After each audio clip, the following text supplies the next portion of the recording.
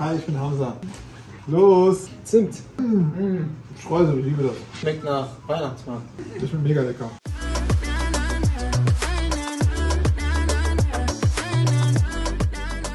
Hallo zusammen, wir machen heute wieder mal ein Apfelrezept. Ich muss sagen, mittlerweile habe ich ein ganzes Lexikon voll Apfelrezepte auf meinem Kanal.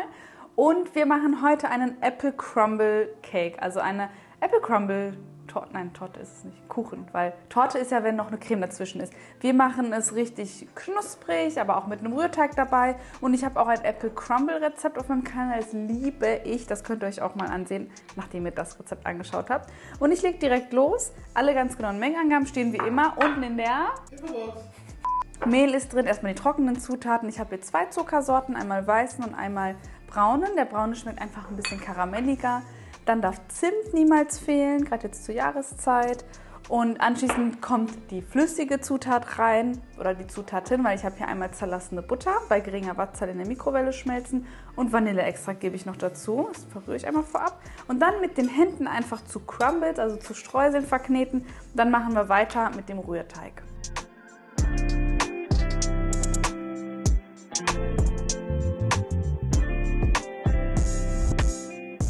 So, die Crumbles sind ready. Wir machen weiter mit unserem Rührteig. Der geht auch echt schnell. Ich nehme jetzt einfach den gleichen Teigschaber. Spare ich mir nämlich das Geschirr. So, und dann kommt jetzt zimmerwarme Butter. Ich habe es vergessen aus dem Kühlschrank zu nehmen, daher habe ich es ganz kurz in die Mikrowelle getan. Also zimmerwarme Butter kommt in die Maschine. Zucker kommt mit dazu, Vanilleextrakt und eine gute Prise Salz. Falls ihr euch fragt, warum immer Prise Salz, achso, Zucker kommt rein, ähm, die hebt einfach nochmal den süßen Geschmack und macht es einfach nochmal ein bisschen rund. So, und das Ganze lasse ich dann für circa drei Minuten lang richtig schön hell cremig schlagen und dann geht es weiter.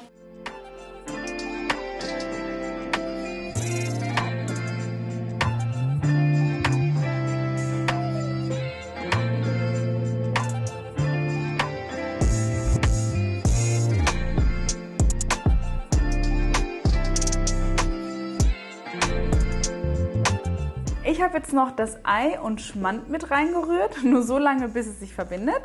Und jetzt kommen die trockenen Zutaten rein, also Mehl und ähm, Backpulver. Und das Ganze einmal kurz reinsieben und dann nur so kurz wie notwendig verrühren. Dann ist nämlich auch der zweite Part fertig und als nächstes schälen wir nur noch die Äpfel.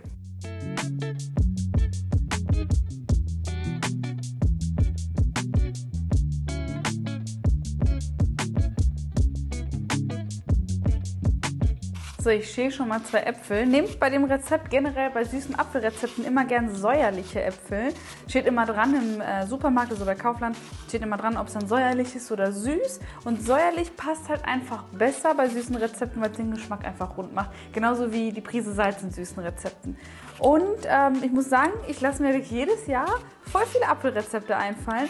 Und voll viele fragen auch dann, irgendwann gibt es doch gar keine Rezepte mehr. Also irgendwann hast du doch keine mehr, oder? Und das ist bei Apfelrezepten ist es gar nicht so. Ich kann mir immer wieder neue Apfelrezepte einfallen lassen. Und ich habe eine Playlist mit so, so vielen Apfelrezepten. Klickt euch da gerne mal durch. Ähm, was ich aber ganz lustig finde ist, was ich nicht habe in meiner Küche, und ich habe echt alles, was so sinnvoll ist, ist so ein Apfelentkerner. Den habe ich gar nicht. Hast du einen, Sarah? Du hast auch eins. Ich habe einfach keinen Apfelentkerner. Ich mache das immer einfach, ich schneide mit dem Messer drumherum. Was habt ihr denn so nicht, was jeder hat? Schreibt mir das mal in die Kommentare. Und ich schäle in der Zwischenzeit die Äpfel schön und schneide sie dann anschließend so in relativ kleine Stückchen.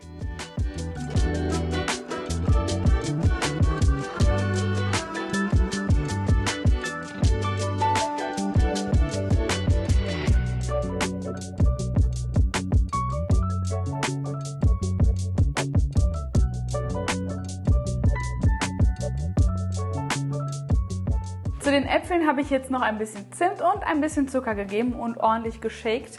Und jetzt habe ich meine 20 cm Springform. Da gebe ich jetzt ein Backpapier drunter. Eigentlich ist sie sehr gut beschichtet und ihr braucht es nicht, aber ich werde die wahrscheinlich gleich nochmal äh, mitnehmen die Torte und so habe ich dann einfach, kann ich es ganz schnell rüber transferieren in meine Tortentransportbox. So, da gebe ich jetzt zuallererst den Boden, also diesen Rührteig rein. Nicht alles, sondern nur die Hälfte, denn wir schichten das Ganze jetzt.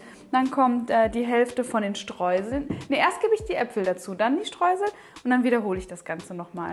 Also Zweimal kommt jede Schicht mit rein und dann kommt es in den Backofen. Schon mal vorheizen auf 180 Grad Ober- und Unterhitze. Und dann backen wir das Ganze für circa eine Dreiviertelstunde.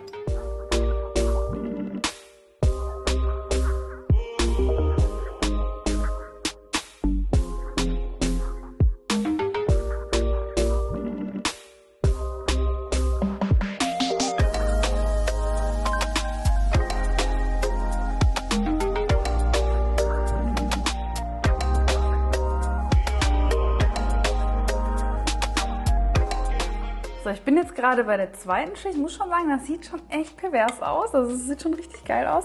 Und ein Tipp von mir immer, wenn ihr so Untergründe habt, wo es halt schwierig ist, es zu verstreichen, weil jetzt haben wir halt die Crumbles und das ist keine gerade, kein, kein gerader Untergrund, dann ähm, immer in Klecksen verteilen, weil dann habt ihr schon mal überall großflächig was verteilt und könnt dann einfach nur noch so ganz grob alles verstreichen.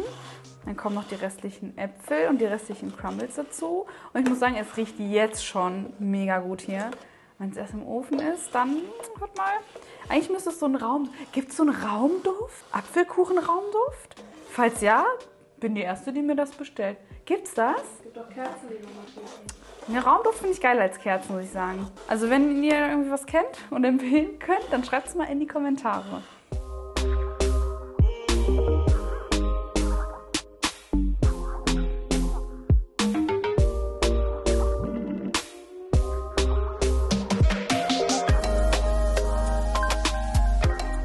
Ja, ich habe mir jetzt einfach mal ein anderes Oberteil angezogen, daher nicht wundern. Das passiert, wenn man sich den ganzen Kaffee auf sein Oberteil schüttet.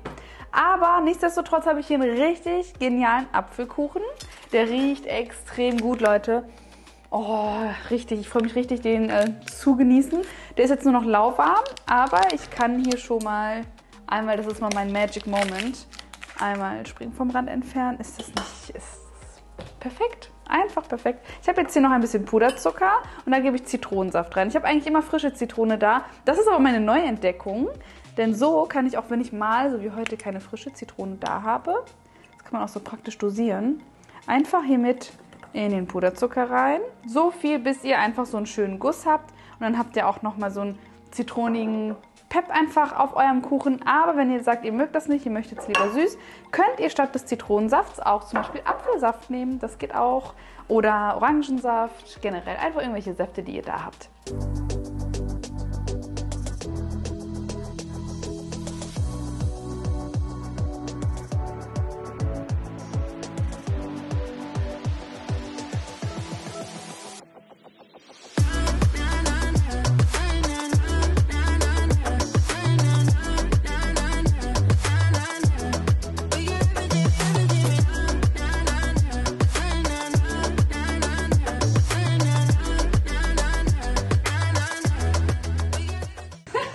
Also, aus der Kikiko die Jessica. Hallo. Der Iman.